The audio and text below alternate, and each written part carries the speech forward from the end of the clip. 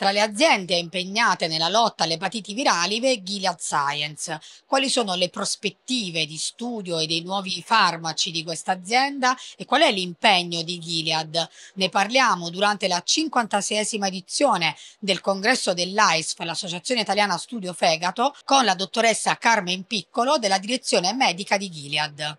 Dottoressa, qual è l'impegno di Gilead nella lotta alle epatiti virali?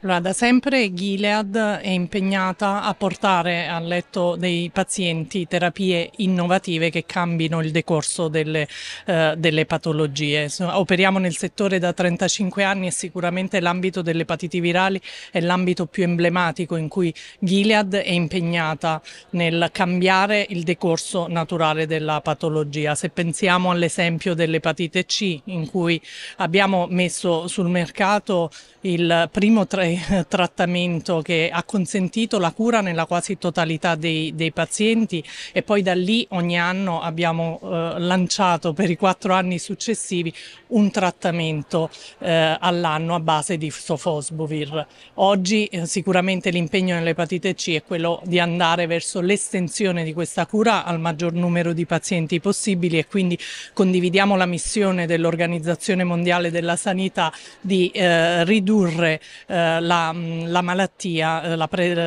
l'epatite C nel, del 90% entro il 2030 ma non solo epatite C, epatite B, siamo presenti da circa 20 anni anche con trattamenti per l'epatite B, ehm, trattamenti che oggi ehm, diventano più efficaci, più tollerabili e anche lì eh, l'auspicio è quello eh, di arrivare ad una cura.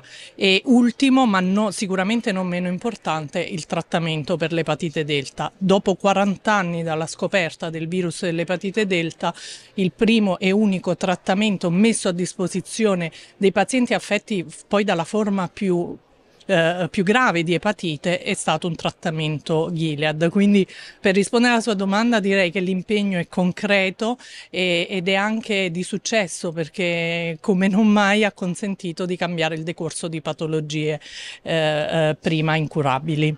Oltre alle epatiti virali, quali sono le prospettive nella lotta alle malattie del fegato?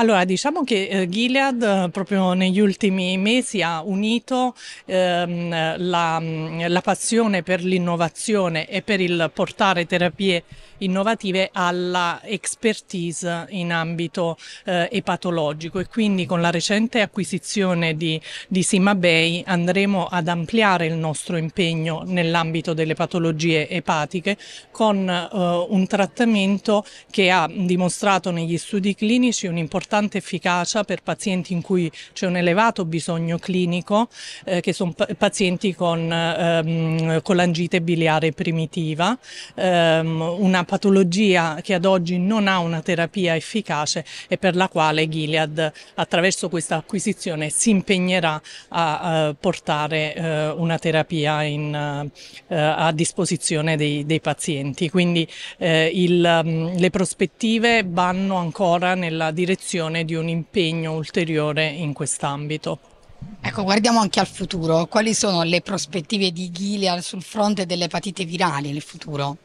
Allora, abbiamo fatto tanto, ce lo dicevamo, ma sicuramente non, non, finisce qui. La prospettiva è quella di mantenere viva la, la ricerca e raggiungere ovviamente anche eh, un obiettivo che guardi ai pazienti e, come dicevo, anche all'estensione della cura al maggior numero di pazienti possibile. Quindi attraverso, con dedizione, attraverso sicuramente una partnership consolidata con eh, ehm, i eh, gli attori scientifici ma anche le associazioni pazienti ci impegniamo per eh, far sì eh, che entro il 2030 l'obiettivo dell'Organizzazione Mondiale della Sanità di ridurre del 90% le epatiti virali venga eh, raggiunto. È chiaro che la ricerca a, a, seconda del tipo di epatite ha delle connotazioni diverse.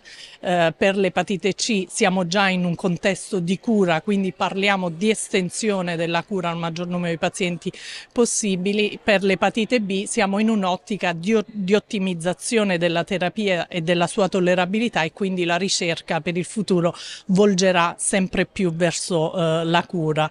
Per le, idem per l'epatite delta che per, per, cui il farmaco è appena stata, stato lanciato e quindi anche lì cercheremo di capirne eh, le caratteristiche e di andare poi a tendere verso un percorso di cura anche per questi pazienti.